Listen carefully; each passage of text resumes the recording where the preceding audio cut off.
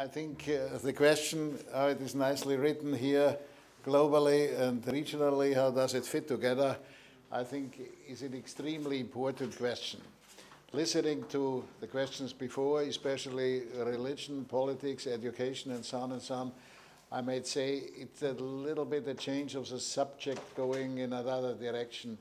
Uh, for this, we would need, on the one side, more time. On the other side, I think uh, it's also extremely necessary that we are continuing what we have already started. So I have to apologize, but it was decided by the organizers that I shall do this input. Maybe it's one of the incoming themes. Why?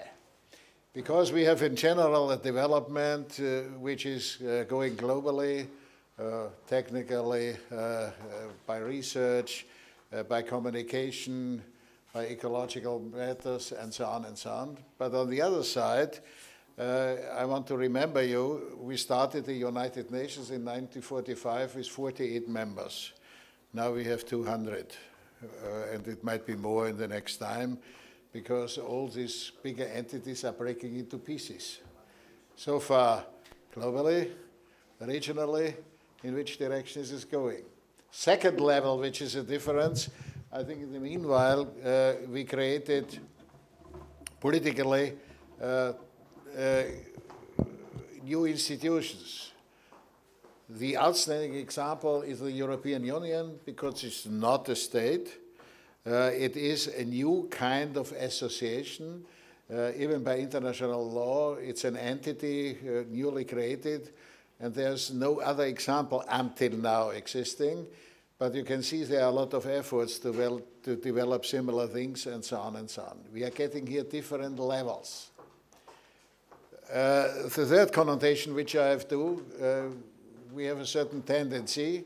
It started mainly by the downfall of the Iron Curtain, because if you look to the map uh, in the time before the Iron Curtain and you look to the map of Europe today, I think you have a numerous states.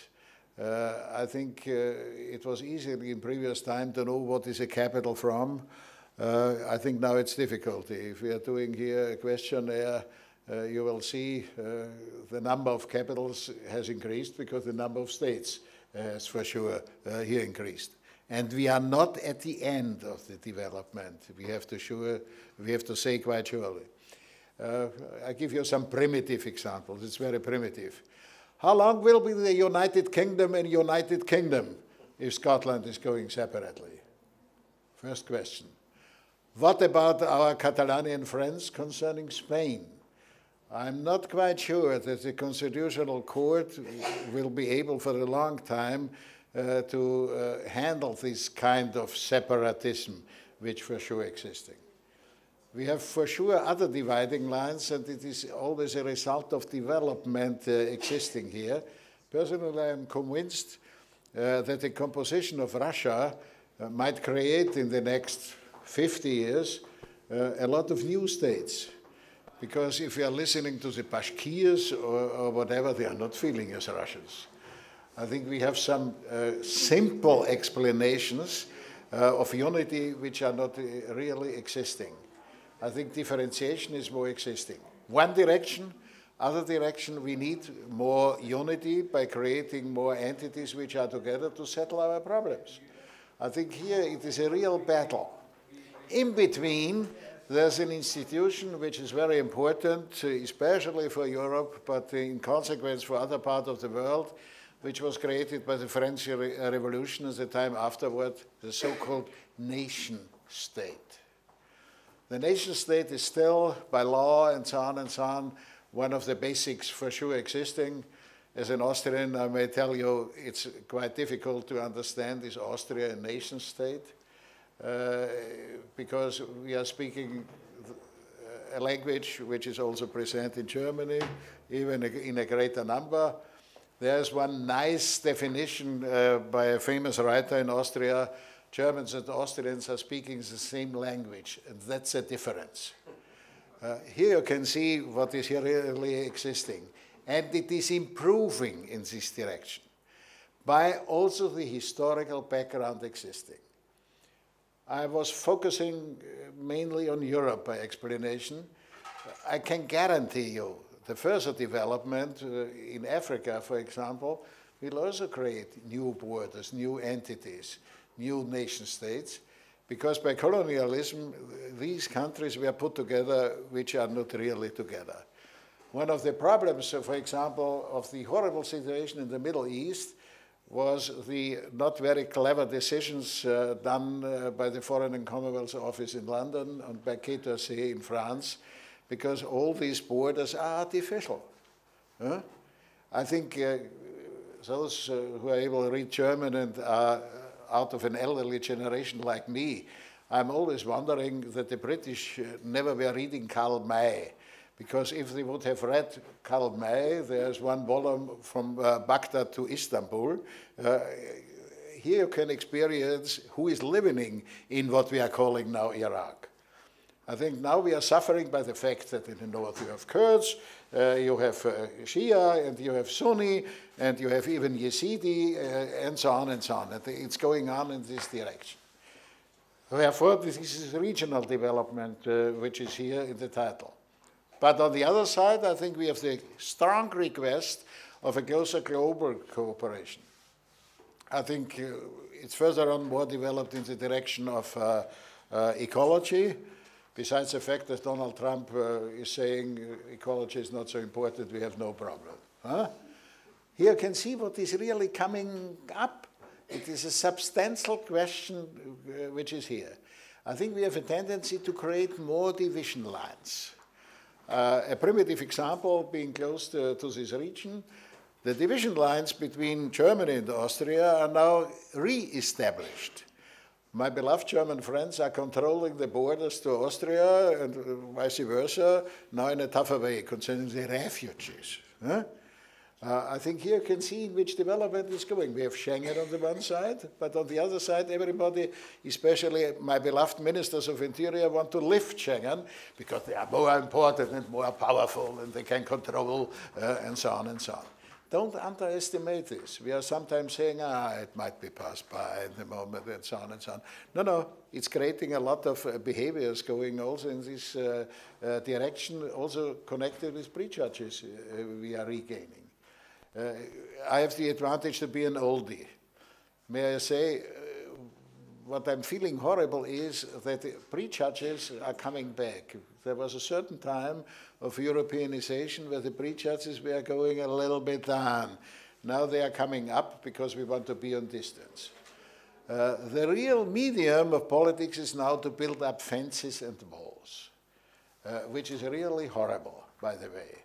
Uh, I learned by history uh, the biggest uh, wall ever erected uh, is the Chinese wall here, but I think to keep out those invaders, it didn't work. The Mongolians came and were for centuries in charge of the Chinese empire. I think uh, this is an extremely important thing. Why was I proposing this theme concerning cultural diplomacy? What are the ways uh, to come over? I think some might say economy, because in business we are cooperating. We are using still very nationalistic phrases, uh, but the reality is quite different. In deep respect uh, to Germany, I'm always uh, deeply impressed listening to the news uh, of the German TV. Uh, here is reported the German car industry being so strong and so on and so on. How strong is the German car industry? Uh, I think uh, the majority of the shares of BMW, Mercedes, and so on and so on are partly owned on others, the Gulf countries, and so on and so on. The production of the German cars are quite huge in China, India, and so on and so on. And if you're looking to your car having a German title, Volkswagen or Mercedes or BMW or whatever, uh, the components of the cars are coming out of different parts. Here you have global cooperation in a certain way always interpreted in a national way or even in a regional way. I think here you see this difference and the political system, and it was a reason why I was mentioning uh, the word nation state, is still uh, acting in another direction. Uh, I'm a lawyer by uh, education. May I say, our legal system is still based on the nation state. But the reality in which we are living, I think, is by international connection. Sometimes it's coming up, sometimes it's creating uh, problems. It is a quite interesting system that uh, all these communication we are able to do uh, by the modern computer world in which we are living is suffering by this way of the global possibility of interference, hackers. But we are not able to handle it nationally because we have no global answer on this. I think activities uh, in favor uh, to disturb the global system are really working. Activities working to create a global system where you can control it, uh, where you can protect it, and so on and so on, are for sure not existing. Here we are still at the national level uh, with a lack of capacity, I think, to handle it in the right direction. That's one of the huge questions uh, in which we are. And may I say, and I am very critical, we are not even discussing it. We are not even discussing it. I think, for example, the hate speech, which is uh, now possible uh, by internet, by all the possibilities, uh, social medias, and so on and so on, we are not able to handle it globally. Huh? I think we are trying to make some uh, regional, national solutions, forbidden it. We have to ask uh, uh, the companies doing it globally, can you put it out for my country? Uh, what's the matter with the others? And so on and so on. I think here is a huge deficit for sure existing. And this is a question where we have to work on this mutual understanding. You might say, okay, there are a lot of political instruments uh, globally, but to speak quite frankly, in the days of Aleppo, uh, what was the United Nations really able to do on this subject? Nothing. If I'm looking to the Council of Europe, the difficulties in the Ukraine were not even mentioned. They were not on the agenda. Uh, because uh, I think the Russians are influencing the agenda, they have hindered everything, that it is not really happening. Here you can see where the difficulties are, and I want to repeat, uh, concerning the borders in Africa, partly in Asia, we will get a lot of problems here because division lines will be even more. And the real question and challenge is, and here we are on the right place concerning cultural diplomacy, are we able to overcome these division lines and in which way? How is mutually understanding uh, really working? Uh, which kind of knowledge is here existing? Rightly before, especially concerning religion, education was managed. I was in charge uh, for some years uh, for the Stability Pact in Southeast Europe to improve the situation after the four horrible wars we had in the Balkans. I think I was always fighting, and I failed totally uh, with the member states of the European Union that we have to do an input in the Balkans on education. I may tell you we did a lot concerning infrastructure, energy, uh, judicial system, and so on and so on, with some success. We were not able to do anything on education. But what is still staying, I think the hatred between nations uh, and so on and so on, the prejudges uh, and so on and so on.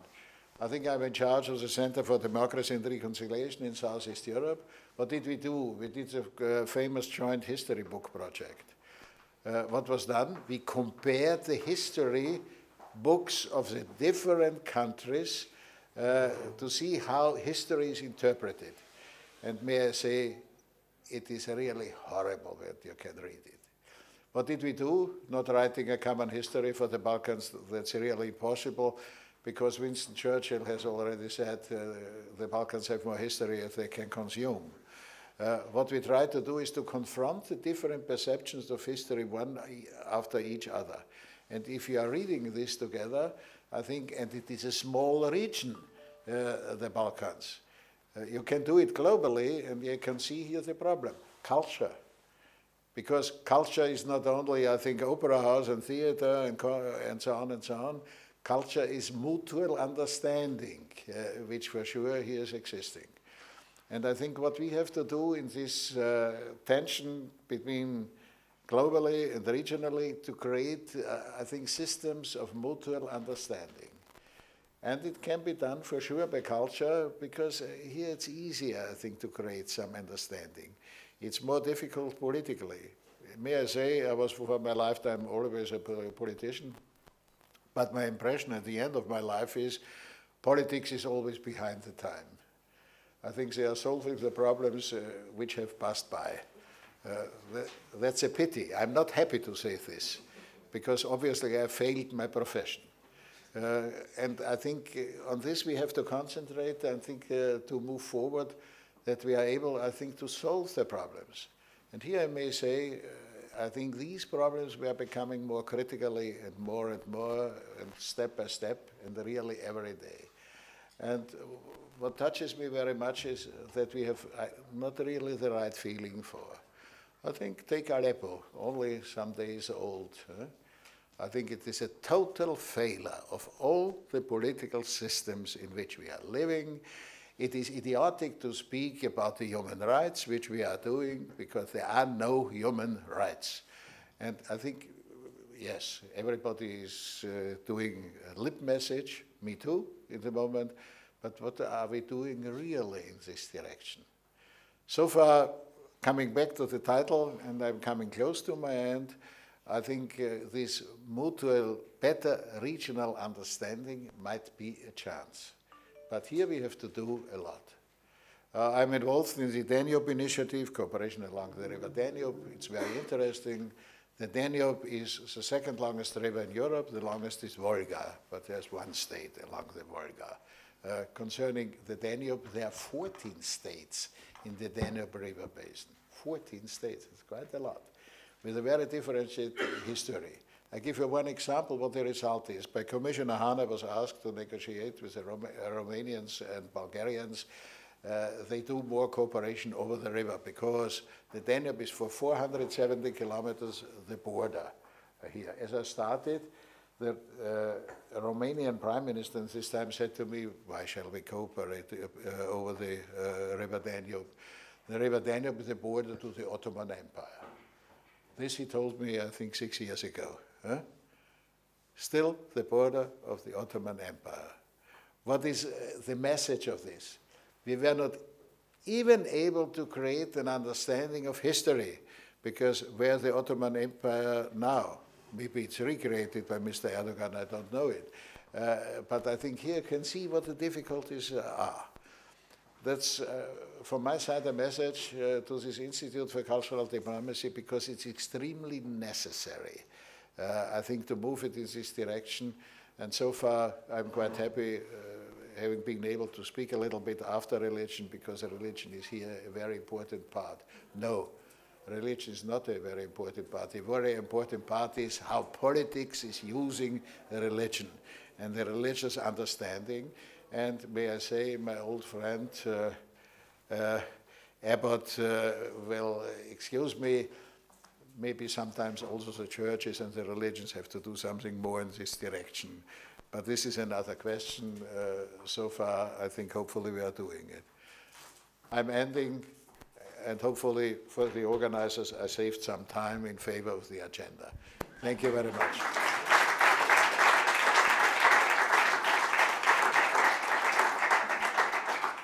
Thank you very much, Dr. Busek. Let's take one or two concise questions if we can, please. Thank you very much for your valuable insights, sirs. I am Himanshu, an MBA student at Royal Holloway University of London. I had a question for you, sir. Like before World War II, I just read somewhere in a newspaper, like New York Times reported this thing, that similar situations were prevailing in the world, where individual, individualism was on the rise countries which were in the war before World War II, similar situations were prevailing. And at looking at the present scenario, I was just comparing that scenario to the present scenario. Do you think that the world is going on that way because you can see problems everywhere, be it in the Middle East, be it in the Asia, be it in the Europe. Do you think uh, we are still heading to the wrong way or can you suggest some possible solution to it? World wars uh, are a horrible event, without any doubt. But they, had, they are having, or they have had, some pedagogic results. I think the pedagogic result uh, after two world wars, one and two you have to put together, was, for example, the creation of the European integration process. I think here uh, all those who worked, uh, like Schuman uh, and de Gaulle and Adenauer and uh, all uh, those who created was, we have to create a system where we are avoiding uh, wars again. And this was a way of integration. May I tell you, I'm running around uh, twice a week uh, in the average, not only in Austria, but also in neighboring countries, speaking about the European Union. May I tell you for the moment that it is a sad message which I'm doing.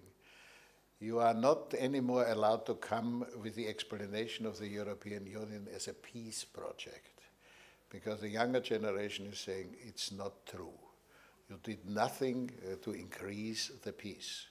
I want to say on the positive side, we had for 70 years peace after the Second World War. It, it, is a tremendous result. But for the moment, we are creeping in another direction. And I'm always saying, and I'm extremely uh, concerned uh, doing this message, for my feeling, we are at the beginning of the Third World War. It's not anymore the way it was done in the past. Emperor Franz Joseph of Austria declared the war against Serbia, and then everything started. And it is not like Hitler said, uh, uh, 1939, since 545, we are shooting back concerning Poland. Now it's creeping in in our society. And it is happening at the railway station Atocha, it's hap happening at the subway of London, it's happening at the concert hall in Paris, and and and I think endless you can continue. And I think uh, we, we, are, we are not really able to create a, a, real behavior for this. Still, we are thinking in division lines and not really coming together. And we are extremely happy if we can blame uh, here the others. Uh, I think uh, in a certain way, and I'm saying it especially also for my country, being very critical on the subject, foreign politics is for the moment used for inner politics. I think uh, foreign ministers, including my own foreign minister, is appearing on the scene, giving messages that he get more votes at home at the next national elections, but not solving uh, any problem. I think it is quite usual, beg your pardon for speaking about inner affairs of Austria. We have some ministers always appearing in the Austrian TV. The European Union has to do. And I always want to ask them, what did you do in the last meeting? Did you propose something? What is our contribution in this direction? I think I cannot anymore see this message on the TV. Uh, the European Union shall do. Who is the European Union? We are all for the Europeans, the European Union, even those who are not in the European Union, for sure. But we are quite happy, I think, uh, to exclude them. I think here we heard a message concerning Ukraine. They settled to get an arrangement concerning visa and so on and so on guaranteeing that the Ukraine might not be a part of the European Union. I think it's a nice message to Putin. What are we getting on reward by Putin on this? Nothing. And for sure, I think you, you cannot uh, say that Ukraine is not Europe. I think even I will say Russia is partly, uh, for sure, Europe and also a part. I think we have to be self-critical that we are not, not doing the right discussions about the right subjects. We are going always uh, aside a little bit, uh, touching a little bit, and then okay, and we will survive. It is not so important, uh, and so on and so on. There's one famous saying in the Viennese language: "Everybody is thinking on him or herself. Only me, I'm thinking on myself." I think this we are doing in general. We are only thinking on myself. But the real question must be who is myself? I think we are all in a, general way. And it does not help if we are saying so and you are all agreeing on this. I think we have to continue and to raise other, other questions to uh, politics uh, and also to make other proposals in this direction. And these are cultural questions in, in general, because culture is a question uh, what is the background, what is the content, what is the behavior, in which way we are doing it, and so on and so on. Beg your pardon, the answer was too long. Excellent. All right, maybe one more brief question and a brief response. I'm sure we've been inspired and provoked. If not, we can continue in the panel discussion later. So, okay, on that note, I would ask you to please express our sincere gratitude to Dr. Busek for having come